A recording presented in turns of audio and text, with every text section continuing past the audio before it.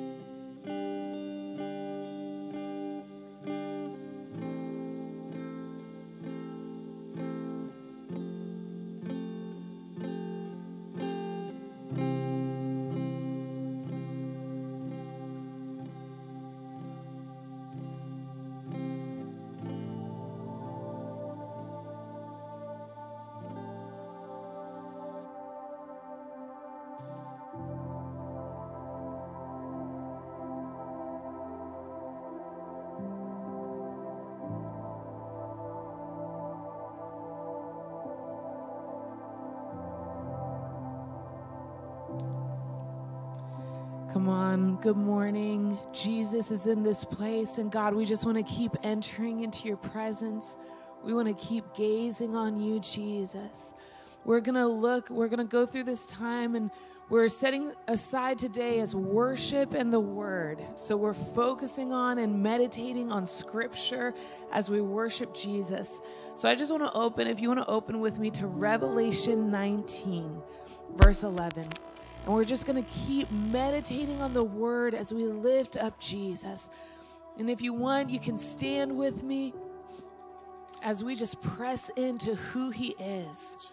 Revelation 19, verse 11. Then I saw heaven opened, and behold, a white horse.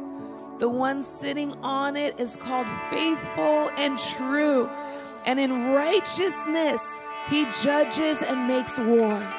His eyes are like a flame of fire, and on his head are many diadems, and he has a name written that no one knows but himself.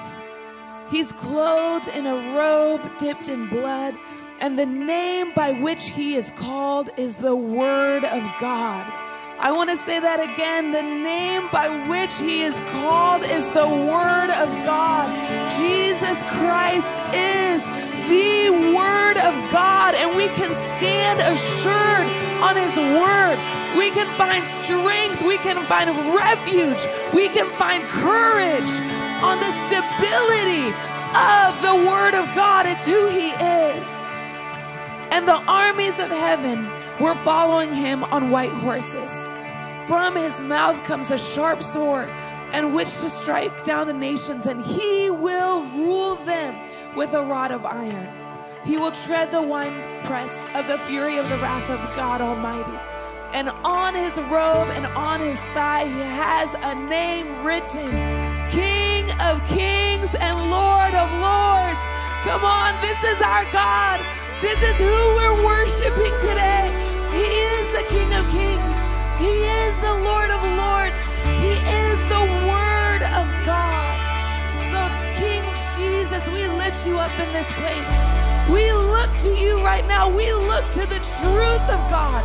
We look to the Word of God that you're high and lifted up over everything else. And Jesus, we come in alignment with that mighty reality today that you are in total control and you've come back to win the bride of Christ. Oh, we lift up grateful hearts. And Jesus, we take this time to glorify your name as we launch into worship.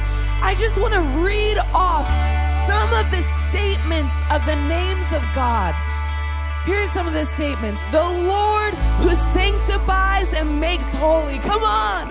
I'm grateful that He sanctifies me, that He makes me holy. The Lord, our peace. Oh, He gives us peace. Are you in turmoil? Are you in stress? Let's come to the Lord of peace. The Lord, our righteousness. He Himself is our righteousness. The Lord, our shepherd. Jesus, we thank you that you lead us perfectly. The Lord Most High the God who sees us, everlasting God and mighty God. We lift you up, King of glory. We lift you up. We thank you that you are all around us. You're surrounding us with your might. You're surrounding us with your love, with your purity and your righteousness, God. And we're here to encounter you. We're here to bless your name. Come on, let's lift him up in this place. Jesus.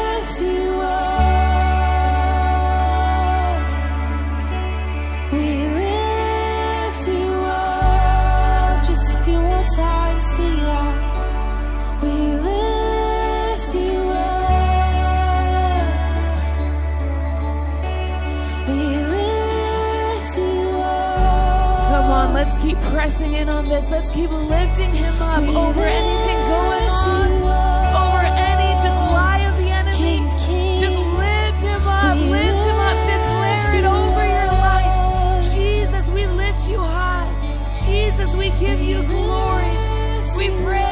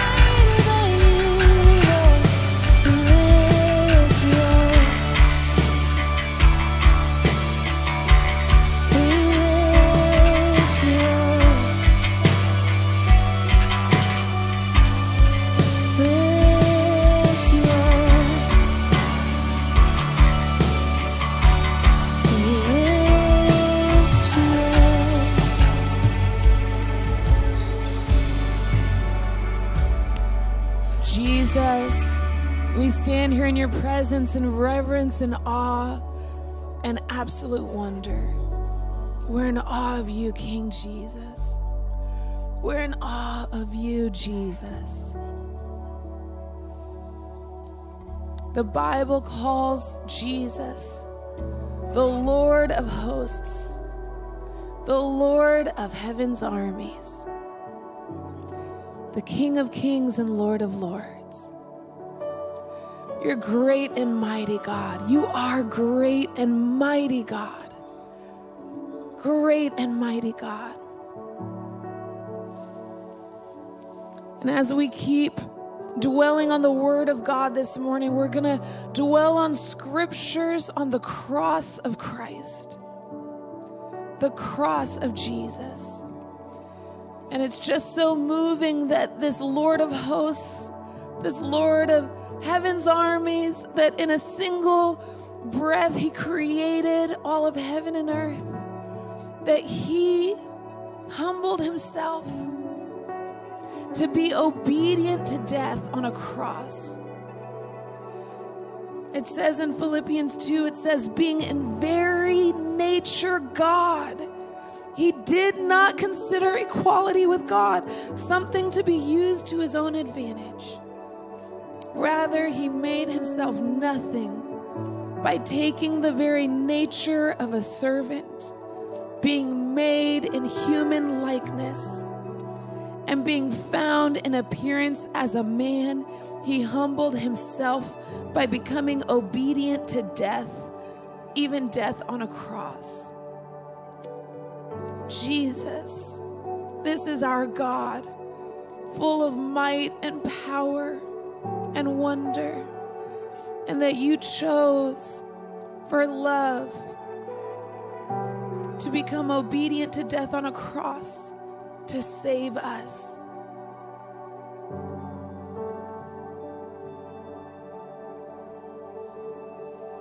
Thank you, Jesus. Thank you, Jesus. Thank you for your sacrifice that moved all of heaven and earth. Thank you for shifting all of history in that act of courage and love. That you didn't consider it to your own advantage, that you are God, but you served us and you became a ransom for us, Jesus. Oh God, we could sing for all our days of how beautiful you are how wonderful your love is. And it says in verse 9, Philippians 2, verse 9, therefore God exalted him to the highest place and gave him the name that is above every name, that at the name of Jesus, come on, that at the name of this Jesus, every knee should bow in heaven and on earth and under the earth, and every tongue acknowledge that Jesus Christ is Lord to the glory of God our Father. Isn't this a wonderful truth? Isn't this a beautiful reality? That our mighty God saved us on that cross, that He made a way, that He tore the veil Oh God, we declare it over ourselves today that you are Jesus Christ. You are the Savior King. You are the Savior King. That you didn't just stay at a distance from us. You chose, God, to become flesh, to put on flesh and pay our ransom. And God, we just want to say thank you. We just want to say thank you, God. Thank you for the power of your blood. Thank you for the reality of the cross. Come on, can we lift up a thank you from our hearts today to this Savior King? You are the Savior King. Jesus, says, Lift him up. We thank you for the cross, King Jesus. Come on.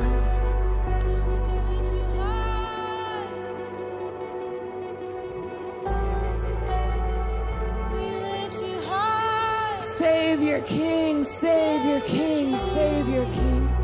You are the Savior King. You are the great King of glory. And we glorify your name. We remind ourselves of all that you did at the cross and the resurrection. We remind ourselves of the power of the cross that has set us free from the chains of death. We remind ourselves of the power of your blood that we will never be the same. You are our Savior, God, and we thank you. Come on.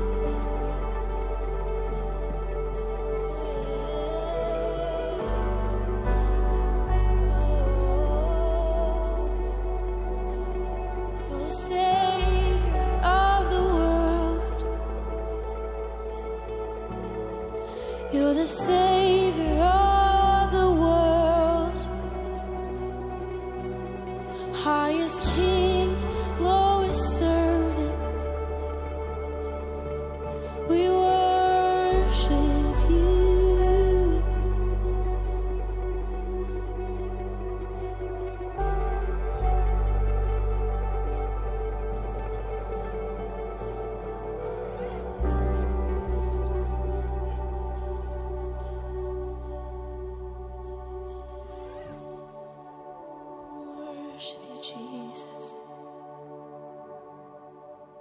Savior King, we worship you.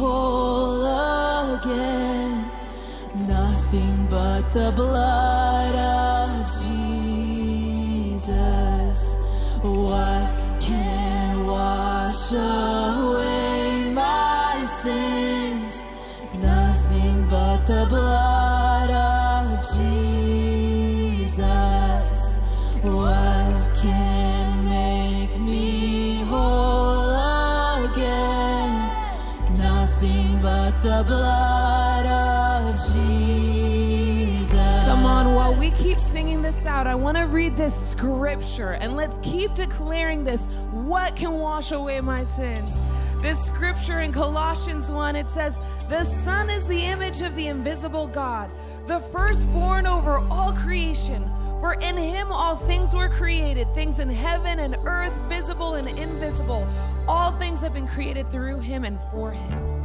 And then down into verse 18, and he is the head of the body, the church. He's the beginning and the firstborn from, from among the dead, so that in everything he might have supremacy. For God was pleased to have all his fullness dwell in Jesus, and through him to reconcile us to himself all things, whether things on earth or things in heaven, by making peace through his blood shed on the cross. Jesus, it is your blood that has made peace between us and God. It is by your blood that we are a totally new creation. And we declare that reality over us today. Verse 21 Once you were alienated from God, and you were enemies in your minds because of your evil behavior. But now He has reconciled you. Come on, is that good news or what? But now He has reconciled you. Christ's physical body through death to present you holy in His sight without blemish and free from accusation. This is good news. We didn't earn it, and we're not struggling today with accusation because it says by the physical death in his body, he set us free from the lies of hell.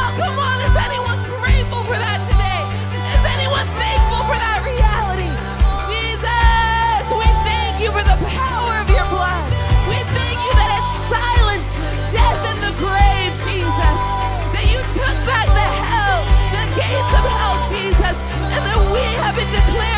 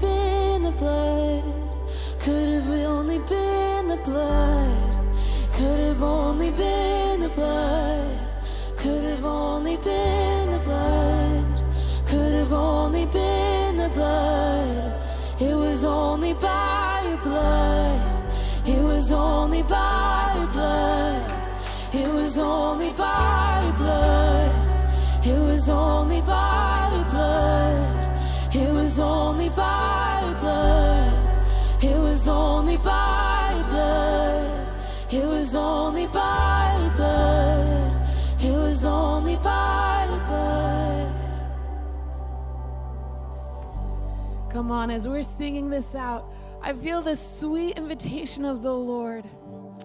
It says in Romans 6, I'll read it out in just a minute, but it talks about being unified in his death. And it's such a counterintuitive thing that as we deny ourselves, we're united with Christ and we have real freedom. I want to read this out in Romans 6. It says, Romans 6, verse 3 Don't you know that all of us who were baptized into Christ Jesus were baptized into his death? When we were baptized into his death, we were placed into the tomb with him. As Christ was brought back from death to life by the glorious power of the Father, so we too. Come on. It's a beautiful phrase right there. So we too should live a new kind of life. Verse 5 If we've become united with Him in a death like His, certainly we will also be united with Him when we come back to life as He did. We know that the person we used to be was crucified with Him to put an end to sin in our bodies. Because of this, we are no longer slaves to sin. Come on, it's good news. It's the word of God. Because of this, because we were with him in his death and resurrection, united with him, raised again to life. The truth of the word of God is I am no longer a slave to sin. The person who has died has been freed from sin. And it says in Second Corinthians, the old has gone and the new life has come. Oh, Jesus, we thank you for the power of the cross. And Jesus, that you invite us to come and die with you. But in that death, Jesus, you have brought resurrection life. So, God, we declare over each one of us today resurrection life, resurrection power. God, that we have authority over sin, Jesus. We have authority over any of the lies of the enemy because of the power of your blood, King Jesus. Oh, let's just take a moment and just dwell on the power of the cross,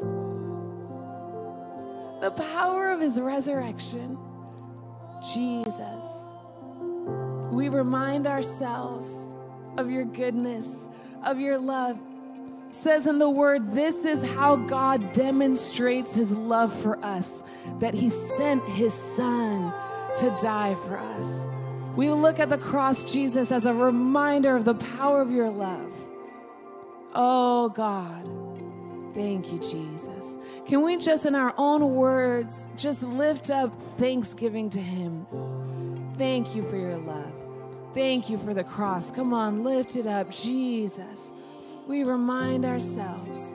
God, we declare over ourselves we are a new creation because of your death and resurrection that we have died with you, that there's an invitation in that place to let go of our old life. Come on, I believe there's a decision for some of us today to say, God, I let go of the old things. I let go of the old patterns, the old ways of thinking.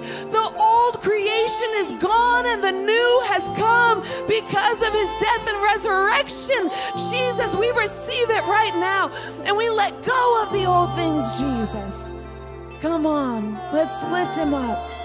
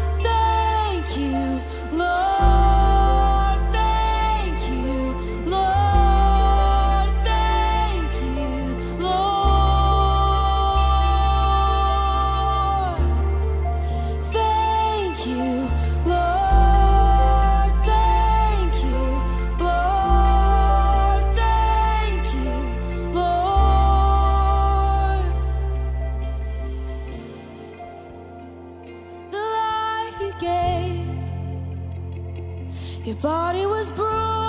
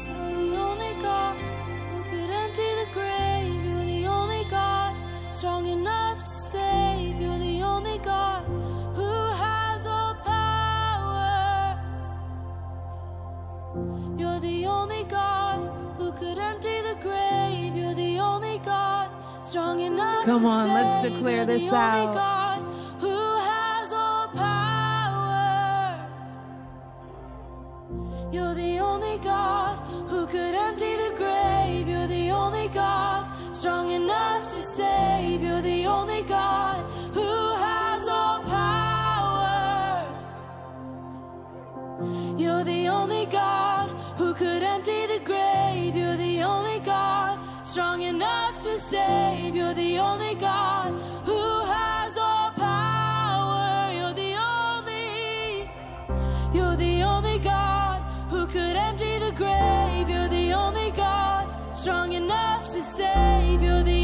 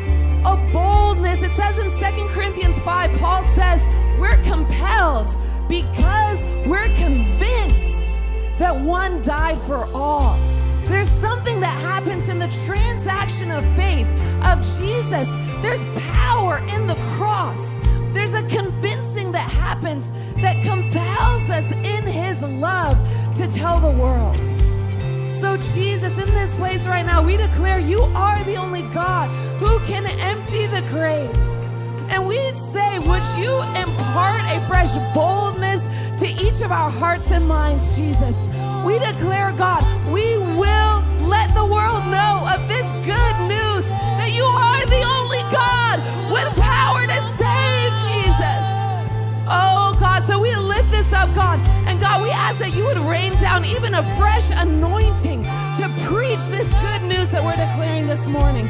Come on, let's lift it up. Jesus. Yes, God.